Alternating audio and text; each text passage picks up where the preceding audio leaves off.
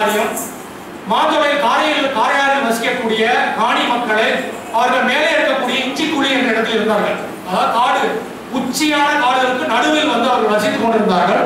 அவர்களை முதலில் கீழே இறக்கினார்கள். புலிகள் காப்பு என்று சொல்லி. ஆனால் அந்த அதே நேரத்தில் வந்து இந்த நிமிடம் வரை பாம்பே பர்மா ட்ரேடிங் கம்பெனி என்று சொல்லக்கூடிய நுஸ்ரேல் வாலியா கம்பெனி முதலாளித்துவ வட இந்தியா கம்பெனியாக மாற்றோலை தேர்ந்தெடுத்து ஆயிரக்கணக்கான ஏக்கரை ஆக்கிரமித்தவர்கள் அதே புலிகள் அதே புலிகளும் பாம்புகளும் ராஜநாகங்களும் இருக்கக்கூடிய ராஜநாகம் ஒரு இடத்தில் இருந்தாலே அது உயிர் சூழல் அதிகமான முக்கியத்துவம் வாய்ந்த ஒரு இடமாக இருக்கும் இந்தியாவிலேயே கன்னட கர்நாடகாவிலும் தமிழகத்தில் உள்ள மாற்றோலை பொதிய முறையில் மட்டும்தான் ராஜநாகங்கள் இருக்கின்றன ஒரு இடத்தில் ராஜநாகங்கள் இருந்தாலே அந்த இடத்தில் எந்த விதமான அழிவுகள் இருக்கக்கூடாது என்பது அடிப்படையான செய்தி. இந்த ரோகுலஸ் டேகர் போன்ற ஒரு மாபெரும் மனிதர்கள் தொடர்ச்சியாக சொல்லிக் கொண்டிருக்கிறார் ஆனால் ராஜராமல் இருக்கக்கூடிய மாஞ்சோலை தேயிலை தோட்டத்திலே மக்கள் வசிக்கிறார்கள். தேயிலை தோட்ட பக்கத்திலே திருநெல்வேலி மாவட்டத்தை சேர்ந்த தலித் மக்கள் தாமிரபரணியில் கொல்லப்பட்ட கொல்லப்பட்டதை தாண்டி மிஞ்சிய மக்கள் இன்னும் அங்கதான் வேலை செஞ்சு கொண்டிருக்கிறார்கள்.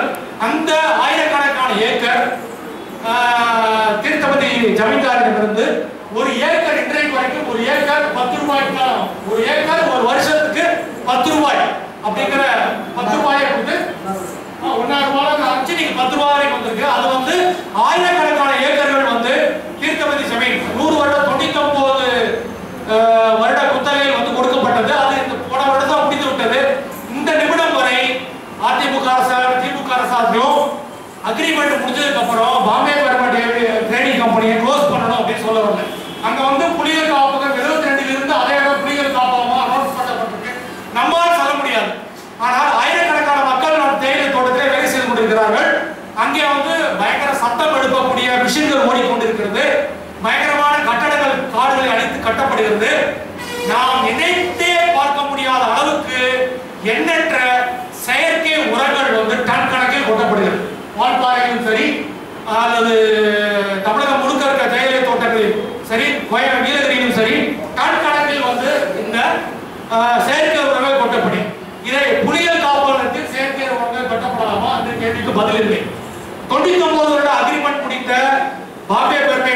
மணி வந்து புலிகள் காப்பகத்திலிருந்து வெளியேற்றப்படுமா? அதுக்கும் பதில் இல்லை. ஸோ எந்த விதமான பதிலும் இல்லாத ஒரு சூழலை தான் இந்த முதலாளித்துவ அமைப்பு உருவாக்கிறது அந்த முதலாளித்துவ அமைப்பு ஒரு தொடர்ச்சியாக காடுகளை ஆக்கிரமித்ததோடு தாண்டி ஆயிரத்தி தொள்ளாயிரத்தி தொண்ணூறுகளில் இழக்கும் தொண்ணூறுக்கு பிறகு நெஸ்லே போன்ற கம்பெனிகள் வந்து உலகம் முழுக்க தண்ணீரை வந்து வீணாக செல்லும் ஒரு பொருள். அதை வந்து விலை வைக்கவில்லை என்றால் மக்கள் வந்து அதை வீணடிப்பார்கள் என்று ஒரு புதிய மறுபடியும் இல்லா காலங்களை போல மறுபடியும் ஒரு புதிய சித்தாந்தத்தை உருவாக்குறாங்க. நீங்க கண்ணீரை விலகி வைக்கவில்லை என்றால் மக்கள் வந்து அதை வீணடிப்பார்கள். போன்ற கருத்தாளர் போன்ற கருத்தாளர்கள் வந்து நெஸ்லே கம்பெனிகள் ஆயிரத்தி தொள்ளாயிரத்தி தொண்ணூறுகளில் உருவாக்கப்பட்டது. அதனால் தண்ணீருக்கு விலை வைக்க வேண்டும் என்று உருவாக்கப்பட்டது. தண்ணீருக்கு விலை வைக்க வேண்டும் என்பதுதான் என்னை பொறுத்தவரை நம்முடைய தமிழகத்தை பொறுத்தவரை குறிப்பாக நாம் வந்து இந்த ஒரு பதினைந்து வருடமாக பாட்டில் தண்ணீரை பயன்படுத்த ஆரம்பிக்கிறோம். ஆனால் தமிழகத்தின் வரலாற்றை எடுத்து பார்த்தீங்கன்னா முப்பது வருடங்களுக்கு முன்னாடி இருபத்தஞ்சு முப்பது வருடங்களுக்கு முன்னாடியே பாலாற்றிலே ஆடியம்பாடி ஆம்பூர் போன்ற இடங்களில் வந்து குரோம் அப்படிங்கிற ஒரு மிக பயங்கரமான கெமிக்கலை வந்து பாலாற்றில் அங்க இருக்கிற தோல் தொழிற்சாலை முதலாளிகள் வந்து அந்த குரோமை வந்து பாலாற்றை விட்டு அந்த ஊருக்குள்ள வாணியம்பாடி தாண்டினாலே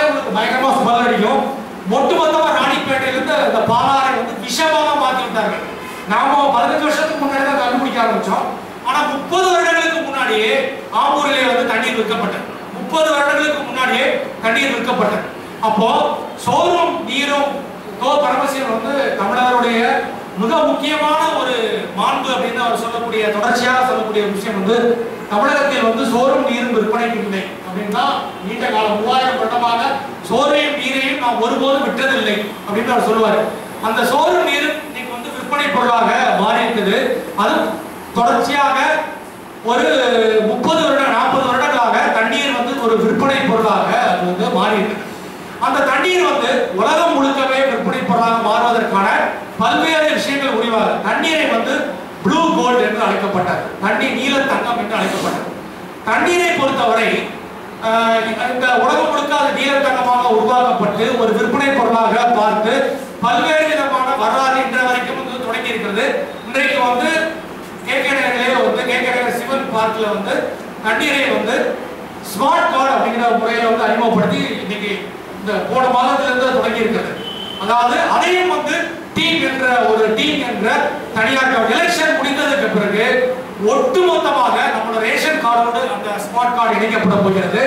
ஒட்டுமொத்தமாக தமிழகத்தினுடைய அனைத்து விஷயங்களும் அந்த smart card ATM card water ATM என்று அழைக்கக்கூடிய இப்படி போய் பார்க்கலாம். சிவன் பார்க்ல கேட்கிற பார்க்ல அது வந்து தண்ணீரை வந்து நேரடியா கிரவுண்ட் வாட்டர் எடுத்து அந்த தண்ணீரை விற்பதற்கான உரிமையை வந்து தமிழக அரசு வந்து டீம் என்கிற என்கிற ஒரு தனியார் கம்பெனி வந்து வாங்கியிருக்கு. அப்ப இனிமே அது ரேஷன் கார்டோடு உருவாக்கப்பட்டது அம்மா படம் போட்ட ஒரு ஸ்மார்ட் கார்டு வழங்கப்பட்டிருக்கிறது அந்த கார்டை வந்து நீங்க போய் அதை வச்சீங்கன்னா தண்ணீர் வரும். இருபது இருபது லிட்டர் பத்து லிட்டர் அப்படிங்கிற ஒரு விஷயம் நீங்க உருவாயிடுச்சு. எலெக்ஷன் நடக்க போகுது அப்படிங்கிறதுனால அந்த தண்ணியை இப்ப இலவசமா கொடுத்துருக்காங்க கொடுத்துருக்காங்க நீங்க போய் இந்த கார்டை அவங்களே கார்டு வச்சு அந்த தண்ணியை வந்து பத்து லிட்டர் பத்து பத்து லிட்டர் இருபது லிட்டர் அந்த தண்ணியை கொடுத்துட்டு இருக்காங்க.